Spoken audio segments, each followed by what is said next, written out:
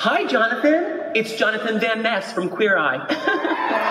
Listen, this is a really bad time.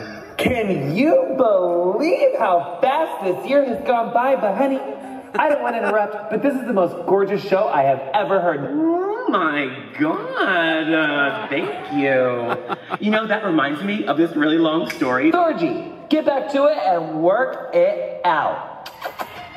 Say bye, Jonathan.